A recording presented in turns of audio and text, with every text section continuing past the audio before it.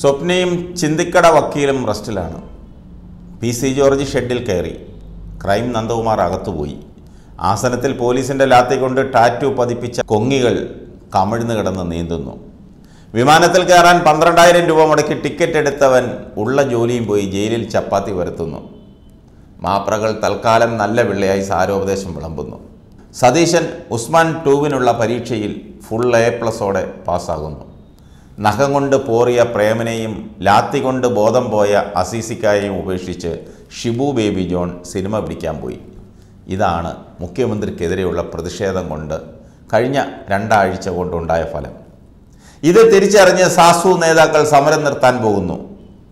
സ്വപ്നയുടെ വെളിപ്പെടുത്തലുകൾ ഗൗരവമുള്ളതാണെങ്കിലും വിശ്വാസത്തിലെടുക്കുന്നില്ലെന്നാണ് വി ഡി സതീശൻ പറഞ്ഞത്.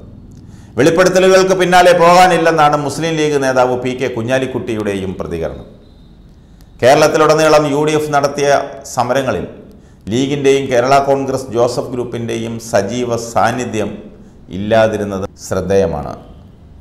സ്വപ്ന സുരേഷ് ഉന്നയിച്ച ആരോപണങ്ങളിൽ ഹൈക്കോടതി ജഡ്ജിയുടെ മേൽനോട്ടത്തിൽ അന്വേഷണം വേണമെന്നാവശ്യപ്പെട്ട് ധർണ നടത്താനാണ് യു ഡി എഫിന്റെ ഇനിയുള്ള തീരുമാനം.